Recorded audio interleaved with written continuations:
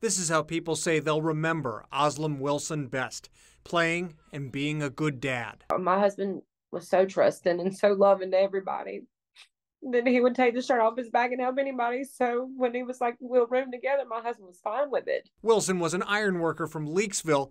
His wife said he was rooming with another iron worker, Justice Clyde Morgan, while the two worked on a job in Tennessee. Friday afternoon, Wilson was shot at the motel in Brownsville, Tennessee, where they were staying, and police began looking for Morgan. They say he ran off. Wilson died Saturday.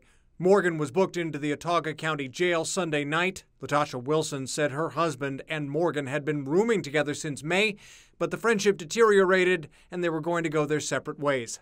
I didn't expect to lose my husband at 41 years old to a senseless act. And to make it all worse, too, it was our daughter's birthday. She lost her dad on her 17th birthday. Latasha Wilson says she and her husband were married for nine years, and he cared for their three kids like he was their dad. I want my husband back. I'm so angry and I'm so hurt that now I have to bury my husband at 41 years old.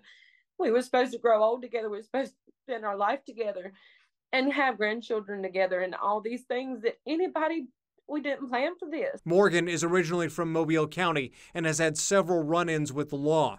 In 2022, he threatened a Saraland judge and finished serving his sentence at the end of 2023. And I believe if somebody would have put a stop to him and not let him continue to get out, that this would not have happened to my husband. A family left to try and pull themselves up after losing the man who held them together.